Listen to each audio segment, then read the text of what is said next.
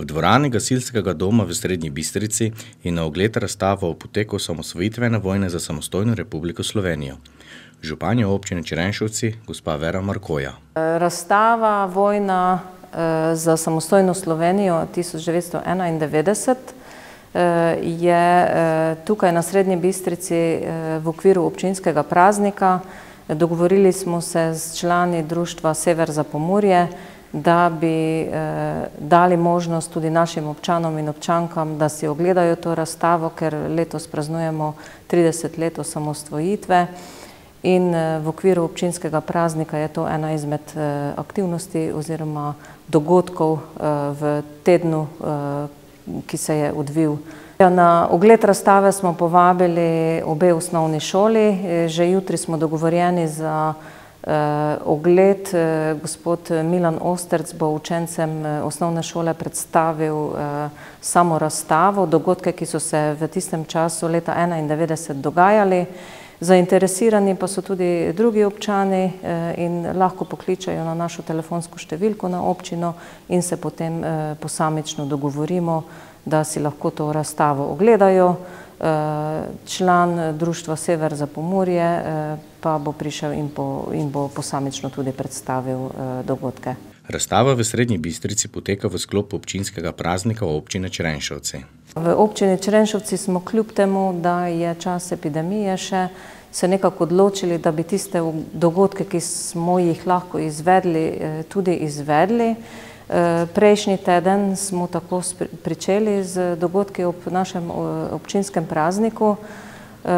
Izvedena oziroma pričetek se je odvil telovadbe. Vsako jutro imajo občanke in občani možnost, da telovadijo v okviru šole, društva Šole zdravja. In pa vsak večer ob devetnajsti uri. Potem v sredo je bila organizirana krvodajalska akcija v naši sejni sobi na sedežu občine. V četrtek je bila otvoritev te razstave, o kateri sem govorila. V petek pa smo imeli svečano sejo občinskega sveta, na kateri smo podelili nagrado občine Črenšovci in pa tri priznanja našim občanom in občankam. Nagrado občine Črenšovci je prejel oktet Belmura, priznanja občine pa so prejeli krvodajalec Ivan Smej, potem predsednica kluba Štrk Marta Režonja in pa Marija Hren, naša občanka, ki bo ob občinskem prazniku izdala knjigo Moja Herbija. Razstavo je v Gasilski dom Srednja Bistrica postavilo Policijsko veteransko društvo Sever za Pomurje. Več o sami razstavi nam je povedal gospod Milan Ostrc. Ta razstava, ki je tukaj na Srednji Bistrici, je pravzaprav namenjena vsem ljudem, ki želijo videti, ki se recimo mogoče želijo spomniti ali pa se spominjati tridesete obletnice osamosvojitvene vojne. Dejansko je, smo v društvu Sever pravzaprav tam nekje leta štiriindevetdeset, petindevetdeset naredili prvo razstavo, ki je, mi pravimo v dolžini sto štiridesetih panojev, to je skoraj sto štirideset metrov, ne. In dejansko smo ugotovili, da je to pravzaprav zelo velika razstava, ki jo v Pomurju nekako se ne da, ni takšnega, tako velikega prostora, ne.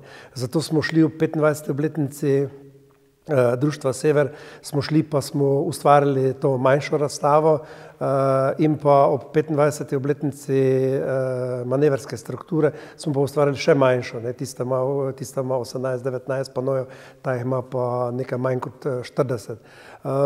Bistvo te razstave pa teh panojev je, da pravzaprav nekako iz leta v leto mladini po osnovnih šolah, v srednjih šolah nekako predstavimo, na kakšen način smo dobili svojo državo. Mi imamo predavanja po teh osnovnih in pa srednjih šolah, naslov Kako smo dobili svojo državo, pripravili smo skupaj s Teritorialno obrambo in tam se pravzaprav izmenjujeta eden iz društva Sever, to pomeni pripadnik policije, in pa eden iz Zveze vojnih veteranov Slovenije, to pomeni s teh, s Teritorialne obrambe. Oziroma slovenska vojska. Sam namen te razstave je tukaj, če pogledamo, je pravzaprav ta, da na nek način prikažemo tisto kratko obdobje, to je obdobje vojna za, za samostojno Slovenijo, če gledamo recimo tam od leta 89 pa do leta 91, kar pomeni, da smo recimo nekako poskušali zajeti celovito sliko Slovenije. Dejstvo je to, da ta razstava sicer kot tista prva, ki sem jo omenil, ne, v tisti prvi imamo tudi recimo regije postavljene, ne, tam je bolj podrobno, ne, tam mogoče bi tista bila, je bolj zanimiva za ljudi, recimo, ki videli, kaj se dogaja v pomurskem prostoru, ne. Ta ta je, pravim, toliko širša, toliko je recimo nekako vezana na celotno Slovenijo, in dejansko zajema tu in tam tudi kakšno, kakšno fotografijo ali pa karkoli tudi naših ljudi, ki so pri tem sodelovali. Gospod Milan Ostrs nam je nekaj besed namenil tudi o samem društvu Sever in tudi o tem, kaj vse nastaja v društvu poleg trenutne razstave v Srednji Bistrici. V sami Sloveniji imamo dvanajst društev, Sever, policijskih veteranskih društev Sever za Pomurje, pravzaprav smo se recimo, vsi vemo, da društva nastajajo pač z ustanovitvijo članov, z željo, voljo in pa pri tem recimo, ko začneš graditi nekaj, ne, gradiš tudi to svojo zgodovino. Društvo Sever je nastalo pravzaprav, se imenuje po akciji Sever, ki je bila prvega dvanajstega tisoč devetsto devetinosemdeset, ko je takratna milica pravzaprav bila aktivirana in smo zavarovali prvič v takratnem času južno mejo, južno mejo pa predvsem zaradi tega, ker so v Beogradu oziroma v Srbiji napovedali, da bodo v Ljubljani naredili miting resnice, kjer bodo želeli nam Slovencem povedati, da Jugoslavija obstaja, da Jugoslavija mora ostati skupaj in da so naše težnje pravzaprav iluzorne, mogoče v tem smislu. Dejansko smo recimo vse te stvari, ta razstava je nastala seveda z vseh teh društev Sever po Sloveniji. Dejstvo je, da recimo pri samih predavanjih, ko mi predavamo, mi damo celotno sliko Evrope, celotno sliko Slovenije pa celotno sliko Pomurja. Recimo, ko smo pa v enem določenem kraju, ali smo to recimo na lendarskem območju ali smo na ljutomerskem območju, se pa pravzaprav opredelimo, da jim razložimo ali povemo tiste pomnike vojne za Slovenijo, ki so v njihovem kraju pa ki so njim najbližji, ne. To je tisto recimo en začetek, ne, nadgradnja pride kasneje, ko recimo dijaki, ko bolj začnejo bolj spoznavati svoje okolje, pa pridejo tudi recimo nekako na širše. Dejstvo je tudi, da smo mi recimo v društvu Sever za za Pomurje izdali knjigo Pomurje je gorelo modro na sedemsto šestnajstih straneh, to je knjiga v dveh delih, kjer je pravzaprav nekako pričevanja, združili smo pričevanja vseh nas, ki smo se pač odločili, da bomo v tem sodelovali.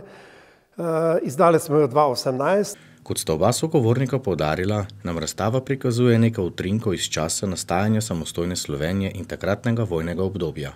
Razstava v Gornji Bistrici bo na ogled do štirinajstega maja dva tisoč enaindvajset.